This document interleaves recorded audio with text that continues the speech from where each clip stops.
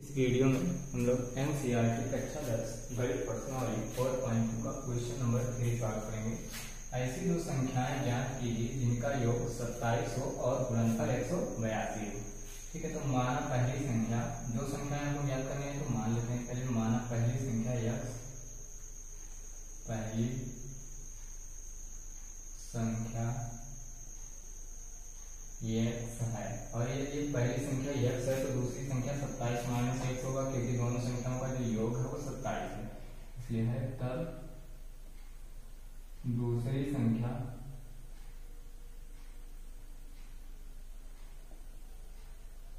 सत्ताईस minus x होगी।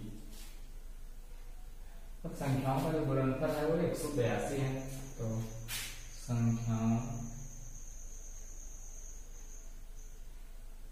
का गुणनफल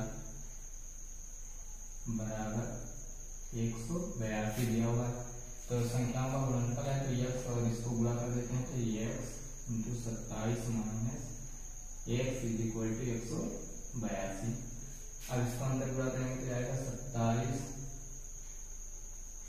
सत्ताईस माइनस एक यहाँ पर एक्स होगा, सत्ताईस minus x square is equal to एक सौ बयासी।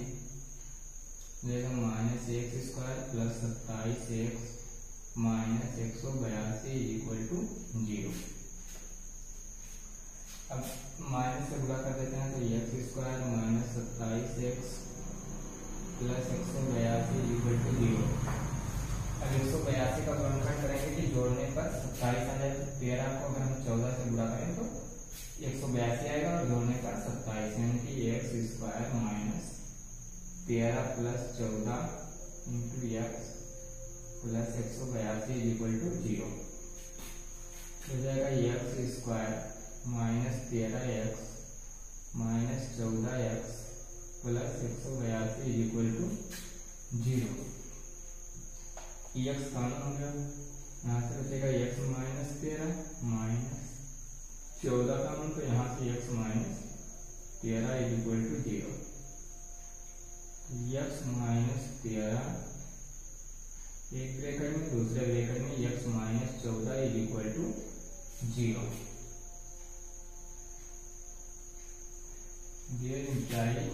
x minus तेरह इज़ इक्वल टू ज़ीरो यानी कि एक्स इज़ इक्वल टू तेरह, और दूसरा आएगा एक्स माइनस चौदह इज़ इक्वल टू ज़ीरो यानी एक्स इज़ इक्वल टू चौदह.